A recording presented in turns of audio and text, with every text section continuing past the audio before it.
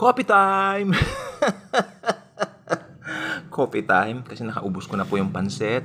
Okay, malamang you're wondering, pansit at coffee. Kasi dyan lang po yung tindahan ng pansit. May pansiteria po dyan. In fact, ang aga pa lang po, ang dami na po mga tao. Pero ako po, inuuwi ko po dito sa bahay namin yung food para dito ko na po kainin because ayaw ko makipagsiksikan sa maraming tao na nag, uh, you know, nagkakainan. Okay? So, ang topic po natin ngayon, actually, kwentuhan lang po tayo tungkol sa statement ni Jesus na sabi niya, I am the way, the truth, and the life.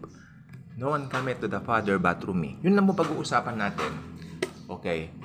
Ang mundo, malaki. Tama po ba?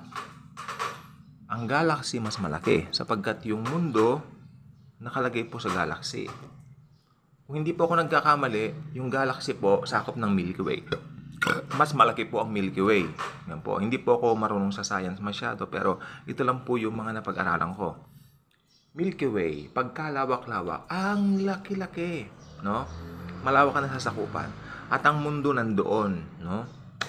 Parte po ng mga planeta ang mundo. Pero ang mga tao, create po ni Jesus sa kaniyang wangis o sa kaniyang anyo. So, ang pag-ibig ng Diyos nandoon pa lang po sa moment na i-create ang tao. So, nung pumasok po ang kasalanan sa pamamagitan ng magandang ahas, nag-anyong ahas, okay? Pero alam natin kung sino yon Si Taning, si Satan.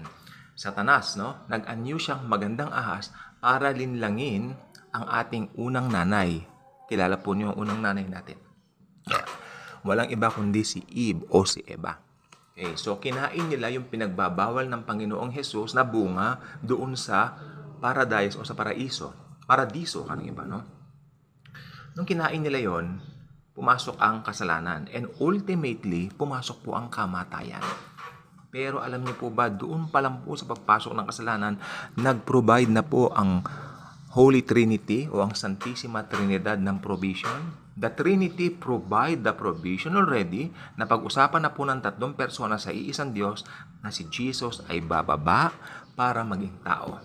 Hmm? Magpapakababa, tulad po nakalagay sa aklat ng Pilipos 2, mababasa natin, bagamat siya ay Diyos, siya ay naging tao para tubusin ang kasalanan o tubusin ang kasalanan ng tao na dulot ng pagsuway ng ating unang mga magulang, yun nga po, Adan at Eva.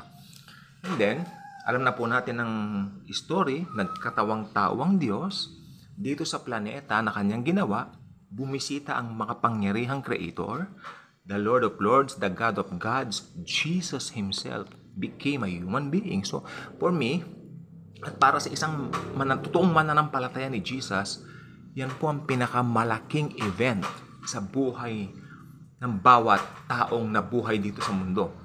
Okay? Sa kasaysayan ng buong sang tinakpan, ng sang sinukob, ang pinakamalaking event ay nung naging tao ang Diyos.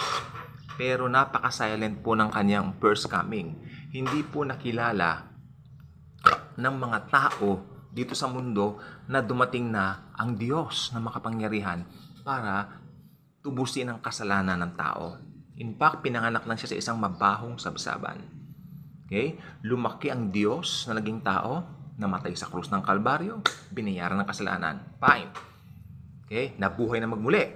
Huwag nating tatapusin ang kwento doon sa namatay siya. Because, totoo pong nakalagay sa Bible na buhay ang Diyos anak. Si Jesus po yan. Umakyat sa langit. At ngayon, namamagitan sa atin. Ito na po yung topic natin. I am the way, the truth, and the life. No one coming to the Father but through me. Sa dinami-dami ng mga tao dito sa mundo, okay, si Jesus lang po ang provided Savior para makapunta ang makasalanang tao sa langit. Sa laki, sa laki ng mundong ito, bawat taong umuusbong o pinapanganak ay talagang born under sin. Ibig sabihin, talagang pinanganak sa kasalanan. So, sabi ko po kanina, umpisa pa lang po na nagkasala ang ating mga magulang, nag, nag-provide na po ang Trinity ng provision para maligtas tayo, right? So, nagawa na po ni Jesus, sabi niya sa cross, it is finished. So, nung it is finished, ito po ang requirement ngayon ng Diyos sino man ang mananampalataya sa anak ay magkakaroon ng buhay na walang hanggan. Sino ang sasampalataya kay Jesus bilang tanging tagapagligtas na makapagdadala sa kanya sa langit ay maliligtas. Ano mga dapat mong paniwalaan kay Jesus? Dapat mong paniwalaan na si Jesus ay Diyos na naging tao. Okay? Sapagkat kung hindi ka naniniwala na si Jesus ay Diyos, malabo ang kaligtasan sapagkat hindi pwedeng iligtas ng kapwa-tao ang kanyang kapwa-tao. Amen? Hindi pwede.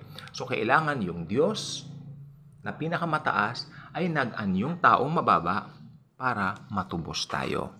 Yan ang katarungan ng Diyos. So ngayon, ito na po. May requirement ang Diyos para maligtas ang tao. Sa dinami-dami ng tao sa mundo, isa lang ang solusyon. Wala nang iba. Si Jesus Christ. Kailangan maniwala ang tao na ang Diyos ay naging tao na matay sa krus. Okay? Sinabi ni Jesus, it is finished. At kailangan manampalataya siya na yung ginawa ni Jesus sa cross. Yun lang ang tanging daan papunta sa langit. Wala ka ng ibang paniniwalaan pa. Not even your good works at lalo na hindi ang iyong organization, hindi ang iyong religion. Jesus alone saves. Let's speak for the truth. Let's speak for the truth. Sapagkat si Joy Spring, isa po siyang napaka inahangaan ko po siya ngayon. Sa lahat ng Kristiyano ngayon dito sa Pinas, siya pong pinakahangaan ko by being very bold of her faith. Once being asked, anong kasasapitan ng unbelievers? Sinabi niya, impyerno. Tama po yon. Marami po nagalit sa kanya pero tama po yung sinabi po niya.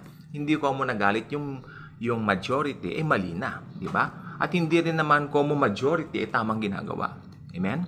So ito pong sasabihin ko po sa inyo makipot ang daan papunta ng kalangitan, pero malawak ang daan papuntang impyerno. So, piliin natin yang daan ni Heso Kristo. Ano yon?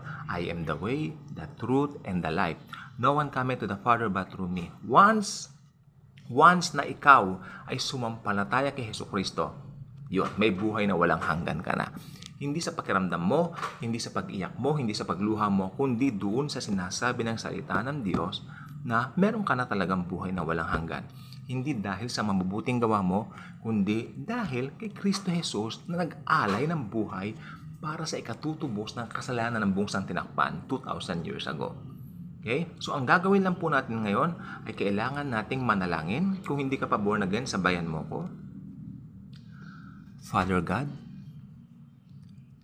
alam ko po makasalanan ako alam ko po papunta po ako ng impyerno. Pero Father, salamat po sa inyo because nag-provide ka ng tagapagligtas para po makapunta po ako ng langit.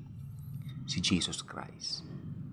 Naniniwala ako, Father God, na si Jesus is the only way, the only truth, and the only life. I receive Him now, Father God, as my dear Lord and Savior. Lord Jesus, Come into my life. Be my Lord and my Savior from now on. Thank you, Jesus. Amen.